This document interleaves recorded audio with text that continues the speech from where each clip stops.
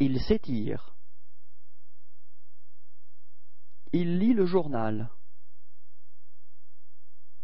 Elle prend un café. Elle attend le bus. Elle lit un livre.